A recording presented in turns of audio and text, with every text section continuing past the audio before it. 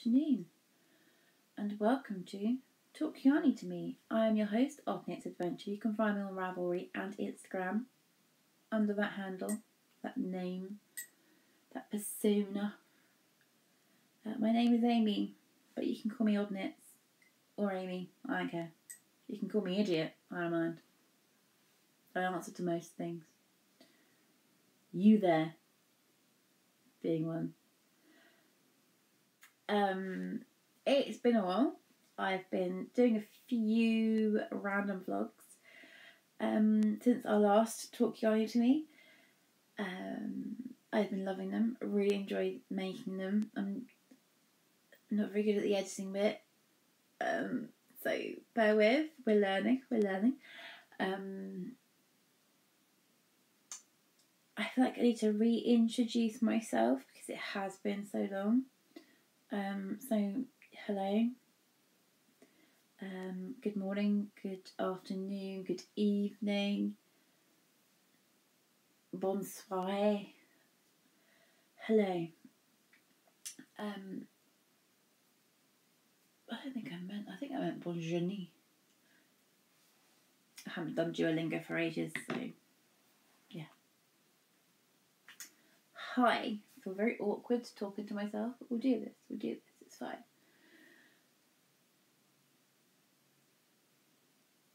So where where have I been? Why like why have I not podcast? You know, all twelve of you are dying to know. I know that's probably an exaggerated number. I must I must talk to the masses. Um, I mean, honestly, honestly, if you watch my videos, I love you. Um, I don't want that to come across as, as rude. Um, but my general rule of thumb is if I've made one person smile today, I have achieved something. Because if I can bring you a little bit of happiness in this crazy, crazy world, then I I feel good. Okay, so let's. So I will be silly, I will be stupid, and I'll say things I probably don't mean. But I'm just being daft in the hope to cause comic effect, really. Um, sometimes it goes down like a lead balloon. Sometimes we can have a little chuckle. We'll see how it goes. Um, I'm drinking Lapsang Souchong for those who wish to know. Um, it's one of my favourite teas. Probably my fave. Mm. If I was honest, I prefer an Earl Grey. But when I've been drinking a lot of Lapsang, going back to Earl Grey is weird. And then if I if I don't have Lapsang in the house, I crave it constantly. Um, first world problems. I know. So what have I been up to? Um, in 2019, I started a bakery apprenticeship, which was stretched out. Um, it was only meant to be 18 months, but I finished ended up finishing it in January of 2022. So this year, January of this year, was when I was officially a qualified baker. Um, and I quit baking in May. That shows you what it's like to work in the industry. A lot of people are leaving, uh, I think, food production. I think over the pandemic, it's it's changed a lot of us. Um, but I'm now on the shop side of it, so I'm still still in the bakery, a different bakery, bakery that treats me like a human being, um, and I'm on the shop side, and I can honestly say for the first time in two years, I am happy. I really, honestly am. And that is an amazing feeling. It really is. And it's a feeling I didn't know I could have. because there got. I went places in the last. Certainly in the last 12 months. I do not want to go again. In my head. It has been a really hard 12 months. Um, and I can, I mean, two years I've been fairly miserable, but the last 12 months were the hardest. Um, we moved into this wonderful little cottage in February. I am so happy with it. It felt like home from the moment they handed us the keys. It felt like home. Like mm, you know, it would be two days in, and people saying, "Oh, are you settling in?" Yes. Like we were fully unpacked. It by the end of the first week. Talk Yarning to me will be primarily about knitting. There'll be a little bit of crochet thrown in for good measure. There'll be a little bit of cross stitch. And there might be some quilting. There won't be any quilting today so I can't be bothered to move the things that's on top of it. But hopefully I will finish my Christmas quilt, which I started probably in 2017, 2018, something like that. So it does need finishing. So they're the things that we're going to talk about, and on a regular basis. Um, we can talk baking if you want. We can delve into that realm of the world. I baked a cake earlier today. I'm waiting for it to cool so I can ice it. I'm very excited about this fact that I baked a cake today because that's the first cake I've made for a while. First cake I've got excited about making. It's cake that I've thought about for a couple of days and all I want, the only thing I've like thought for the last two days is I really want to play with a piping bag. I should have made cupcakes. That would have that would have been cool. I could have iced them by now. Um, I made, I've made a chocolate fudge loaf cake, and I've uh, got some chocolate icing to make, which in, which involves evaporated milk. People, I have not made icing that involves evaporated milk, so I'm very excited about that and then I'm gonna ice it, and I've got sprinkles to throw at it. I've got chocolate buttons, and I've got uh, a Twix I'm gonna cut up and throw at it. It's just gonna be as my my rule is I don't I don't make pretty cakes. I make Balham and tasty cakes. If I may toot my own horn. Um, the little bit that I nibbled earlier, it was good. It was slightly warm though, so I'm a little bit biased because it was slightly warm. Um, it was good fun, and I like the idea of a loaf cake. Where has the loaf cake's been my whole life? I've always made my my ginger pumpkin cake. That is a loaf cake. Shall we finally talk knitting? It's been ten minutes. Have I introduced myself enough? If you want to know more, I'm getting comfy. Um, if you want to know more, just ask. Fine. Where should we start? Let's start with this one. This one has kind of had most of my attention lately. So this is a little bag I made myself quite a few years ago. It has polar bears wearing red hats and scarves on a red background. Make of that what you will I got the fabric, I think, from like a knitting and stitching show way back. I think before I watched podcast, no, knitting podcast. Well, that's a long day. Um, and the lining was this uh, cream fabric with red stars. Which just goes perfectly. And actually, I do quite like rolling it over and using it as a yarn ball because it just looks cute. If it's quite ah, it's like a little Christmas toadstool, doesn't it? It's beautiful. Um, again, if I may toot my own horn because I made this, it's very wonky. Just, just look at the wonkiness of the zip. Hopefully, you can see the wonk. I, I love a bit of wonk. Best things in life are wonky. Honestly, I love it. Um, it's got a little charm on it. That was from Green Lambkin Charms. Uh, Green Lambkin Fibre, even. She does charms and yarn. And it's got bells. And it's uh, gingerbread snowflake. I'm gingerbread mad. Um, and these were socks that were meant to be knitted last year during December. And I'm now knitting them. Because I was sad, so I didn't do much. Uh, and I've got some stitch markers that I've been using uh, in my heels. One's pineapple, one's ice cream. I think that was from Pearls and Jewels back in the day. She no longer makes um, stuff, but I have one finished sock. A who? What a way to start the podcast.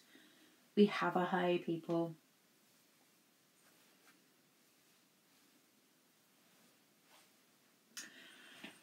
I feel really daft. Do other people feel daft doing this? So it's being knit with this, which really does not do it any justice whatsoever. When it was in a skein, it was beautiful. But this is from Chromatic Yarns. It was from their advent calendar, not last year, but the year before. It was the full skein that you got on Christmas Day or whenever you chose to open it. And it is called Loftlander's Mulled Wine, which I'm obsessed with. I love mulled wine, and one of, if not my favourite tea, is a mulled wine tea from the East Sussex, the Kent and East Sussex Tea and Coffee Company. Very catchily named that. This is how it knits up, and it is beautiful. It is mulled wine. It is. It's quite autumnal, really, and wintry because it's cozy. It looks like cozying up by the fire. It's just oh, I love it. And I'm knitting the acorn socks, which is by a designer I still haven't found out what it is. I mentioned it in the vlog. And they don't put their name on the pattern. So I'm trying to remember to link it down below. But are you seeing that yet? That's the acorn socks. I print in black and white. Not because I'm cheap, because I pay um, HP one ninety nine a month, so they send me ink whenever I need it. So it's not because I'm cheap, it's because well, that's just what I do. I don't need it in colour. Um, this, yeah, you have a slip stitch kind of detail that goes along the most of the sock. Um, the pattern is, I would say, is easy to do.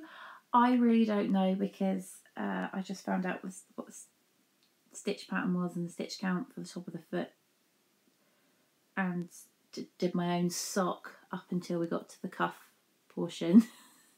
and then got very confused when I was trying to come back into pattern, having not been in it for the entirety of the sock.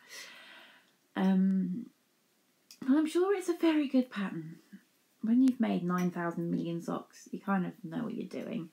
So I tend to do a Turkish cast on, I'm a toe up uh, knitter, and yeah, I think this is a Turkish cast on, which I love. It's so easy.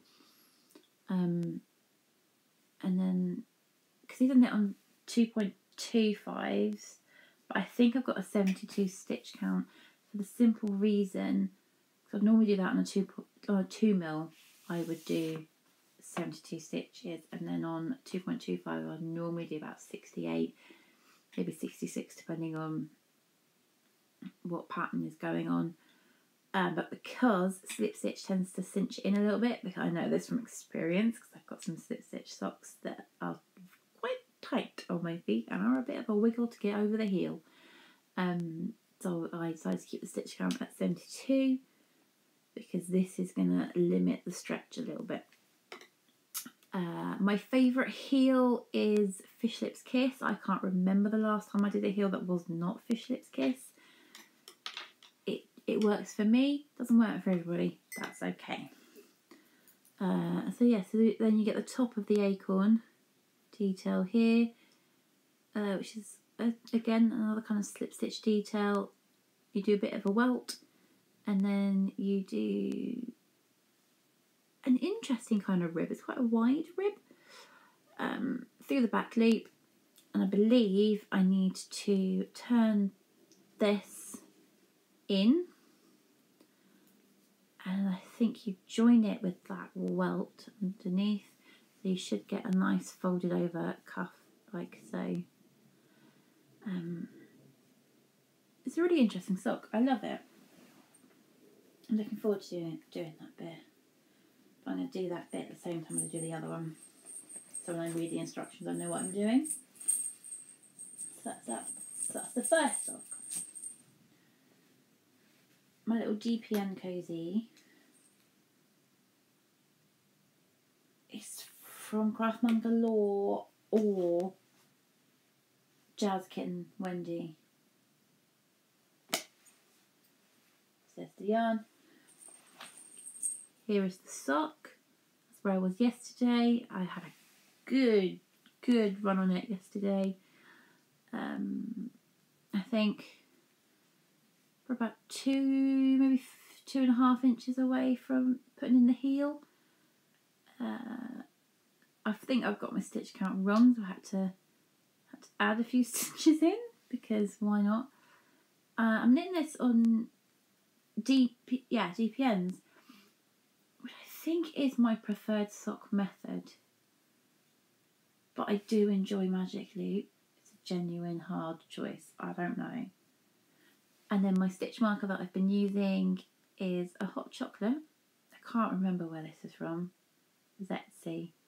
It's got all the trimmings. Um, because again, this was meant to be a Christmas sock. This was meant to be my December 1st cast on, then finish it by Christmas. Wear it Christmas Day socks. And um, we're in July, so we're doing really well. It's it's sat in the bag, wound up, needles, pattern, everything ready to go since about September. No, that's a lie. No, no, it's, no, that is true because I, it was the year before. I got it a year before for Christmas. I decided that it was going to be my December first cast on, so that it would be my Christmas Day socks.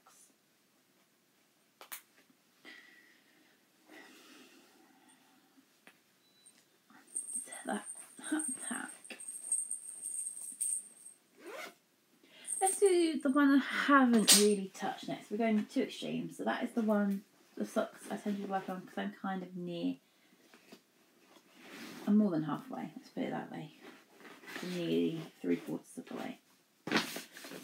So next we have Harmas, which is by Anna Johanna. I'm saying that with a bit of a Scandi lilt. I don't know if that is correct. But it could be Anna Johanna which is kind of a really cool name. I'm slightly. It's way better than mine. Um, that's the cover photo. It's a big slouchy. Oh, it's not. It's cropped. It's more of a cropped slouchy jumper. There's a bit of brioche and a bit of seed stitch. And I have now just realised that two of my projects are seed stitch base, but there's a big cow neck which I love. Um, I'll show too much of the pattern, but that's how it looks. And I'm knitting this. This is in a little treat that I got for myself, which was my celebrating getting a new job um, gift to myself. So Mrs. Brown's bag in the Beetlejuice. And it is the third of her bags that I own that's in the Beetlejuice colourway. Because if you like something, why have anything else? That is from Gregory Life Diary of a Nutcase. As you can see, I can wear it in about five minutes. this is knit top down and flat, considering the cow neck. I find that a bit peculiar. But I've been I've got to be really careful because the yarn is so delicate.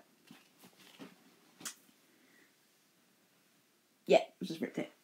So I believe I'm like this. That's what I'm creating. I don't know. Um, the yarn does this a lot. It's very similar to Lopi. Is Lopi? The the one that's like pencil roving. Um, a friend gave it to me. Like I love it. I feel like that friend must hate me to give me such an annoying yarn, but it's it's good fun, and you do have to sit and wind off little balls to make it easier on yourself. And my god, cast on on my days. Cast on was not fun, and I can't remember. I've obviously lost the tag that went with it, so I've got I can't, really can't remember what it is. But it's like I think it must be a pure wool. I don't think there's any nylon going on in there. But it is essentially like you're sort of dealing with unspun yarn. It's just fluff. Um, and I'm hoping it's not going to be too see through. It's seed stitch, so I'm hoping that gives it a little bit of. I probably will wear it with something underneath anyway. Um, and I, I was originally going for fun stitch markers, and I thought no, that's gonna catch, and this is the sort of yarn you don't want it to catch. Um, I'm ready to pick this up. Because it's been a, at least a week since I've worked on it. And I really, really need to come back to it so I remember where I am and keep on top of it. But I've just. The next two things have actually kind of taken my attention away. So, yeah, so that yarn comes like this. I really want the finished project product, but it's just getting myself to do it. I feel like if I show you my last knitting, it's going to still show. But it feels and contraflow to show the crochet before the knitting. Let's have some tea.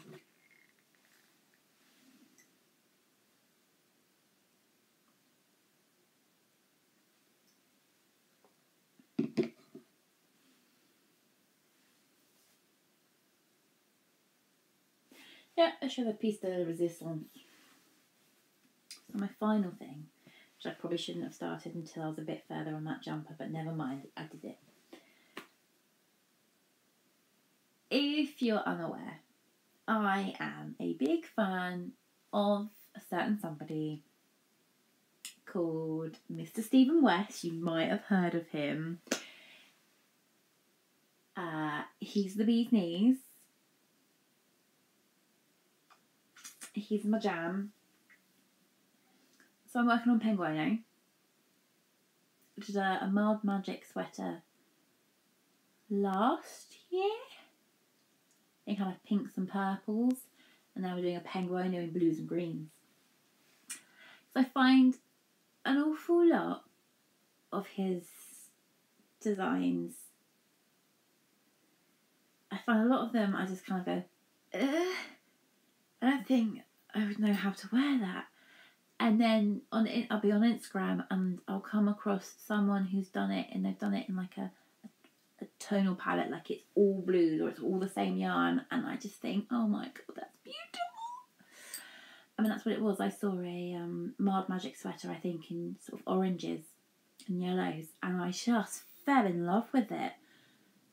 And it made me appreciate the shape of it more, and I've made my own, which I'm not I think I went a little bit too far Stephen West with it than I would have preferred. But that's okay. Like I think I think it'll be fine with some nice like uh, high waisted jeans. It will it will pop. Uh, just need to get myself some high waisted jeans. But this is my Penguono.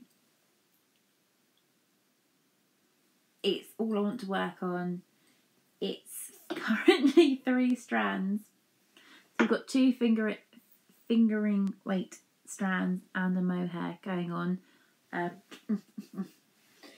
it's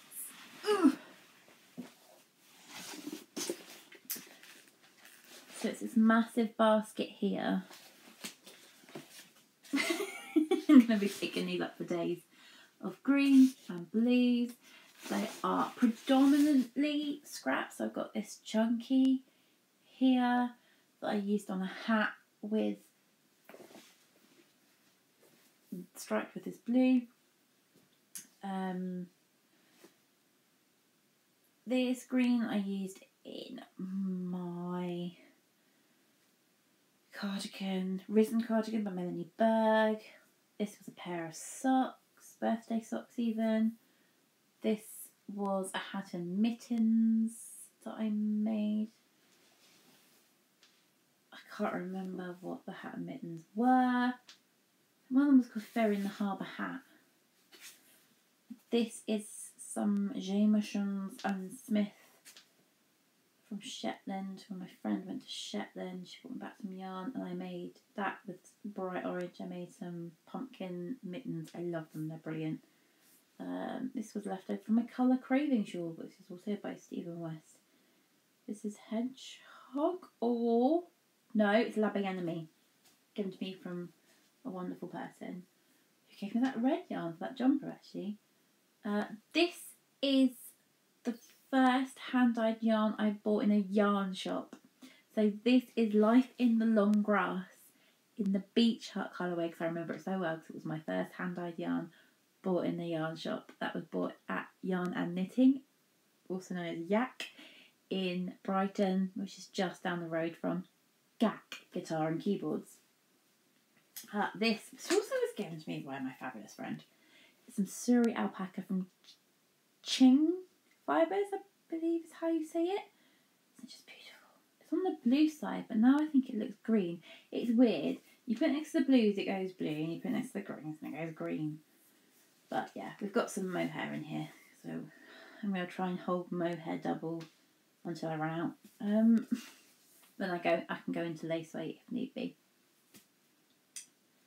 So that's the basket, and then what I'm trying to do throughout is hold my scraps of Stranded Dye Works Fright Night colourway, which I absolutely love, and have it on every single base that he has dyed it on over the years.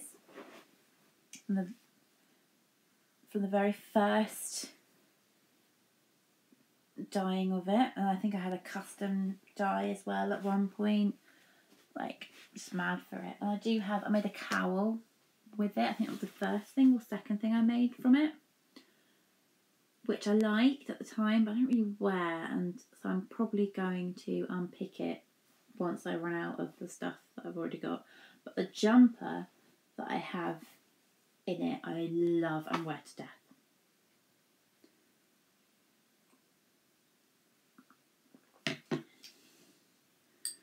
So yeah, so we're holding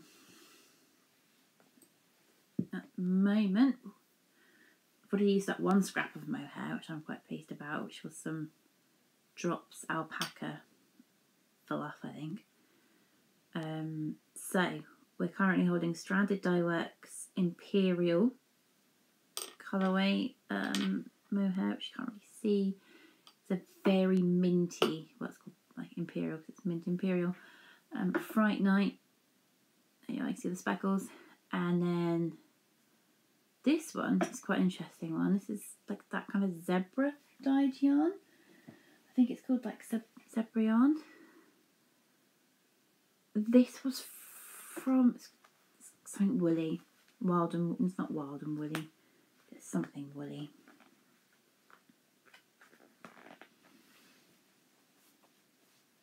I always put the ball bands inside it and I can never remember what it is. I have to get it out and I can't get it back in and I get sad that I can't get it back in. I stick a finger in there. Wonderful wool. I think they're based in Wales. 100% zebra sock yarn. 100% merino. Didn't realise that. It's gorgeous. It was one of those things where it came up on my uh, Etsy homepage, fell in love with it, and ordered it instantly. I just think it's beautiful. It's turquoises and blues and purples. It's my jam that is being held in my pink hazel bag, which I got from Edinburgh Yarn Festival in 2016. Which was the first and only time I went to Edinburgh Yarn Festival. I, I would happily go again. So, my, I'm loving the penguin by the way. I'm probably going to work on that this evening because it's just fabulous. Now move on to crochet which I love crocheting. I went through a phase of only crocheting. I learned to knit first. I learned to knit with about nine, and then crochet was about I was oh, sixteen once I got full nap like hang of it, and could just have a pattern. Or I think before then I could do a little bit as edging on like a knitted blanket or something. But it was 16 when I learned how to kind of like treble or double for you Americans. Uh, this is the second time I've made this blanket. I think it's is it free? Can't remember. It might not be. But this is Compass by Button Nose Crochet from Ravelry. Um, it reminds me of the underneath of an extra. Which is the main reason why I love it. First one I did was during lockdown. I started crocheting blankets. I had loads of leftover baby yarn, and um, I was systematically working my way through it, through my yarns, so that when we moved, have less to bring with us, and crochet blankets seem to make sense. And also, oh, I made so I made so many like um, Attic Twenty Four ones. I think I think I did the hydrangea might have done beach comb, can't remember, or at least looked at that one and then did a similar one. I did I think I did the meadow one where you went forward one, back one. Loved that. I really enjoyed doing that one. That went quite quick. Um, it's the chevron one, but it's got a it's like a something chevron.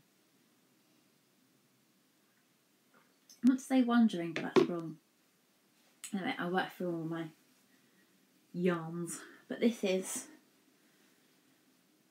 uh, Compass by Button Button Nose Crochet.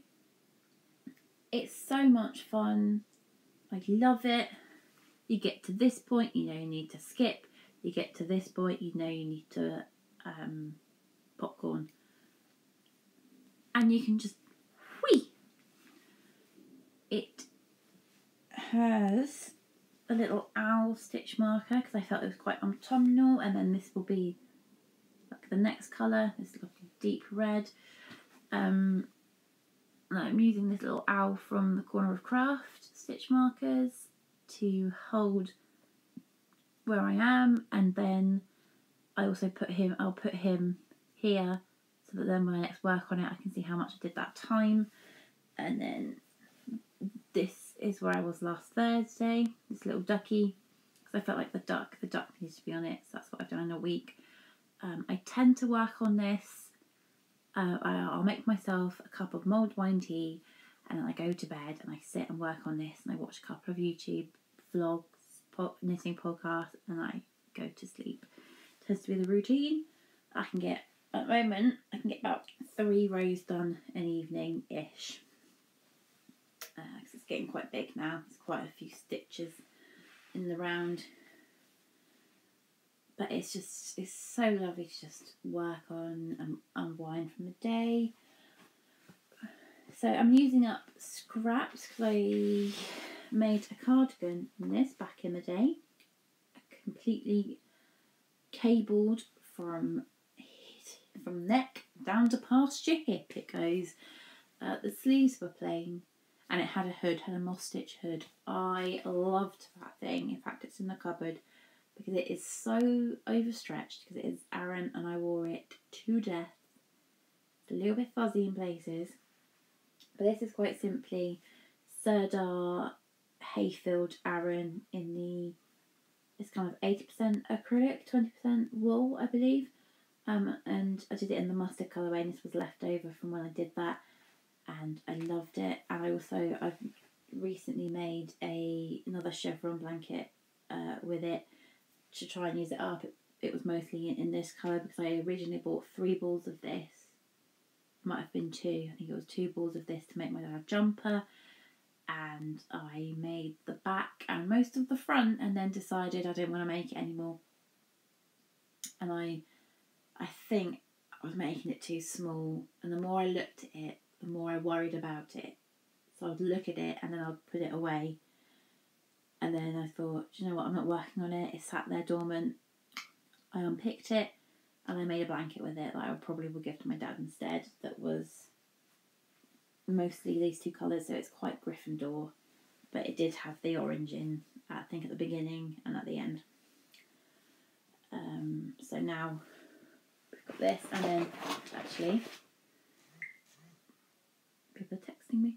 This is how much orange I have left, which ooh, it's not very big. It's not very. I'm starting to wonder now. Maybe I did have enough for a final row, but the more feel very light. I don't think I would have done. So I played a little bit of yarn chicken with that. That was fun. So now I'm on this, and when this goes, I do have more of that. I was thinking I might unpick the cardigan to then put into the blanket if need be. So I've still got it. And I don't know, because originally I was thinking do this, then red, and then add the mustard again. So I'm thinking if I then use the cardigan yarn, the yellow is going to be huge, and then the red's probably going to be like one row by the time we get to it. But then that would be like the border, I suppose you could argue. We'll see. We'll see where it's at when I get to the end of the yellow. I don't want, it to be massive, I just want to be left with loads of leftovers again. Like the whole point of it is to use up the leftovers. I want to use as much of that yarn as possible. So that's that's my crochet. I'm really digging that actually. What pattern is this? Oh, that's for the sock. That's fine. It really fit in the bag. Hang around. So that's my knitting. I really need to go and pick up my cross stitch, and then we can talk about that if you like. So this is a bag from Patchwork Paw Print on Etsy. I love their bags. I've got a few. I've bought a few for my mum. She loves them too. And this is a masterpiece. I started this last year. My plan was to get it done by the end of spring and then work on summer over summer, winter uh, autumn over autumn, winter over winter. Didn't didn't actually happen. But I'm so close. As you can see, this main body of work is done and I'm currently working on the border. So I'm going around doing don't dip it in my tea, finishing off the little daffodils around the side and then once all the yellow's done I'm going to come along with green again and do these some little squiggles um, and then I also need to go in and add a few little details like the sheep need to have eyes well one sheep does have eyes. Oh you can't see it because the hoop's in the way. There he is. Sheeps have eyes. Um, I'm not going to take it out of the hoop because my least favourite thing to do with cross stitch is moving the hoop around. It is genuinely something I try to avoid doing, which is why I use a massive hoop. So I can fit as much in as possible. And so this is my little dove d- designs. I did buy the the full year kit. Um, this is spring. This is what I'm working on, and it's so good. It's so much fun. I really love it. I love the little ducks and the ducklings. We've got sheep, we've got tulips, and it. I started this last year, back in 2021, spring of 2021, and I now live in a cottage which has a, a door number, but it also is called Tulip Cottage. So it's very apt to have some tulips going on. Um, I don't know what these are supposed to be. Are they violets? I'm not sure. There's even like a cherry blossom tree, and then you've got the weather and the brollies. It's beautiful. It has spring awakening with March, April, and May written on it. And the dream is when they're all finished, have them framed and then have them up on the wall. And when we get to the end of May, I would then put the summer one on, and that would be June, July, and August, I think. That's the dream. Whether or not we get there is another question. I haven't worked on this for a few days. I think I did Sunday, was probably the last day, or was it Monday? No, it was Monday, so after my watching it. I tend to cross stitch more when it's hot. because it's not like having a crochet blanket on me. It's not like having a, you know, it, I don't get quite so sweaty hands like I do with knitting and knitting a sock or whatever. But it's good fun. I've got a little noodle minder. I think this one is actually my most used one. Oh, sorry. And um, it's a little purple leaf, and it was a freebie because I bought my mum some because my mum's a bigger cross stitcher than me. And it was buying interesting things for her cross stitch for Christmas one year that got me back into um, cross stitch. And that's one of the things that kind of got me into it was like, oh, I've got a needle minder. I need to have a cross stitch project to put it on. Uh, so yeah, I really like this. I really, really would like it to be finished because it's so damn close. Like I said, I'm more than halfway in my daffodils. I've only got the the top edge and a few down here. Yeah, to finish. And then I've got I had my little green squiggles that go around them. I've done my green squiggles at, at the top and bottom, so it's just the, the side squiggles. And the one of the sheep needs some curls. They all the sheep need eyes. The ducks need eyes and wings. The little blackbirds need eyes and wings. And that's it. I think the rabbits are okay. Yes, I, tr- I, I gave them French knots at one point and didn't like the way they looked. I remember that, so I took it off. I feel like there's a little white cross within it that looks like a better eye than that, especially when it's going to be up on the wall. It doesn't need it, I don't think. Not you're far too little bit far away to see it, but I love it. It's beautiful. Really need to finish it. Um, I did set aside that Saturdays were going to be stitching days, but then I think this Saturday I sat and worked on Penguono because I really wanted. I think I might even cast on Penguono. I, I just wanted to do it. It's been on my mind for so long. I just wanted to cast it on, and now I'm obsessed with it. And now it's the only thing I could ever think about. So that is me. That's where I'm at. I will next do a podcast at the end of August. So this is what I've been working on in July. And at the end of August, we'll look at what I've been working on in August. I really, really would like my cross stitch finished by the end of August. That'd be fantastic. Maybe even the first few stitches on the summer one. That would be grand. Um, I'd like the definitely the yellow finished on my crochet blanket. If not the blanket finished, because let's face it, crochet is so quick. And that's only a couple of weeks' work. Mm, let's not make, let's not set ourselves an unachievable goals. So I think, yeah, that would be what I would like for next month, for next August, would be that cross stitch finished. That would be fantastic. I really, really would. Um, and then the blanket, definitely the yellow done. Definitely want all that yellow into it.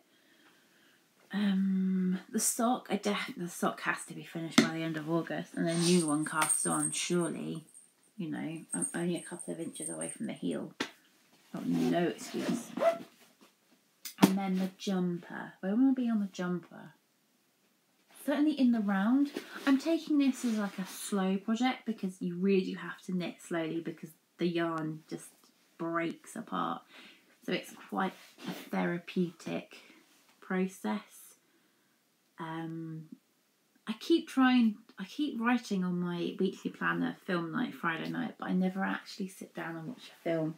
But I feel like that would benefit from a nice, cozy film. Probably should have saved that jumper for Christmas time when I watch Christmas movies because that would be ideal. Just a lovely kind of. And like cheesy Christmas film, one I'd seen before so many times, didn't really need to look at it. So I'm half engaged in my knitting, half engaged in the film. It's kind of it's got that slow living vibe to it, you know. Oh, but that cow neck red jumper because it's so lightweight. That would be ideal to garden in, wouldn't it? Maybe the sleeves not so much. I might actually knit the sleeves a bit tighter and perhaps a little bit shorter. I might not have enough yarn to complete the garment anyway, so a slightly cropped sleeve would be alright. But also, it would be so warm and lightweight that when I'm in the garden during the colder months, oh, oh, that would be lovely, wouldn't it? Oh, this is instilling a little bit of excitement in me for that project now. Um, so there we have it. I do have some projects that I need to weave the ends in on, and I might highlight them once I've done them. Um, speaking of which, behind me is my completely finished cozy memory blanket. Every single end has been woven in this bad boy. It can sit very comfortably on the top of a double bed with two people laying underneath it.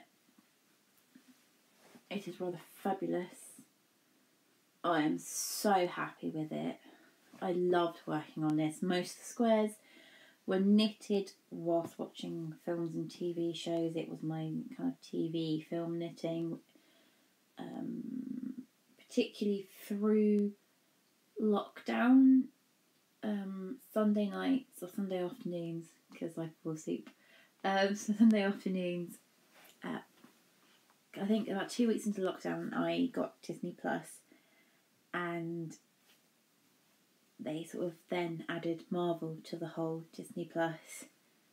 So we started off watching The Simpsons every Sunday. Because I thought that was the reason why I got Disney Plus at the time. I saw an advert that showed that it had all 30 seasons of The Simpsons, and I thought if I'm being stuck at home, I'm being stuck at home with The Simpsons. Um, and then when I got to watch some of my favourite episodes, because I think I think actually my favourite episode is the giant catfish one, which is never on the telly. They never show that one. I don't know why. That and um, Little Lisa Slurry, you don't get that often. They do play it, but not very often. I think they play it more now, probably because we um, associate more with the recycling element of it. But um, but there was a few episodes that I'd forgotten, and a lot of them, a lot of the good ones, I didn't realise like I think season six was probably had a lot of a lot of the ones that I like loved and remember and quote. Um, um, so yeah, when it came to that, that was the thing that made me feel better. Was every day I'd come home, would watch three or four episodes of The Simpsons. I would fall asleep, um, and then be woken up for dinner. Um, but also during that time, Sundays where we would watch a Marvel film, and we found a, a website that had the, the list of chronological in in plot. That makes sense. So, in the in the timeline of of the Marvel world, not the order they came out in, because obviously you, you get ones come out then the next one comes out, and then the next one comes out, and then the next one comes out, and then the next one comes out, and then it comes out, and it comes out, and then, you know, it all dances around. So, we, yeah, we did that every week, watched something, and it was really nice. And most of that was spent knitting all my cozy memories. That was lovely. That's what I need again. I don't know why I can't seem to do it. Maybe maybe that'll be a goal for August is to do Friday film night. Make myself watch make myself sit down and watch something without thinking I should be doing something else. Allowing myself to do it guilt free. That would be quite cool. Right, I've been filming for an hour now, so this is going to be a pain to edit and a pain to upload. Um, so thank you so much for listening to me wittering on about the things that I love. That made me look like I was talking about myself. I meant knitting and colour and just beautiful justness. That's in my Marled Magic sweater. That's Tequila Sunrise by Easy Knits. Just oh, look at it all. Isn't it beautiful? I miss having a project like this to work on actually. My crochet blanket is not too dissimilar. It's just not scrappy. You have to think about the colour placement and stuff, yeah, to think about that. That is not a pretty face. Right, I have cold tea, a full bladder, and some unread text to deal with. So, thank you so much for watching. Thank you for sharing a cup of tea or beverage with me. Hope it hasn't been too boring. I hope I'm not just some more white noise in this quite saturated market of knitting podcasts, which is good. It's good. It means there's lots of people knitting out there. There's lots of people wanting to share what they're doing. And let's face it, when you love something and something makes you so happy, you want to share it, don't you? So, thanks. I'm going to go ice a cake, tidy up my mess, try and force myself to work on the wed, the wed, the wed jumper when we know damn well I'm to pick up Penguono. So, thank you guys, and I'll see you at the end of August. If not before, you want to drop into one of my vlogs, that will hopefully there'll be a few. um, I'm not filming one today, and annoyingly, that's a bit stupid because next Thursday I've got to work, um, so I won't be able to film next Thursday.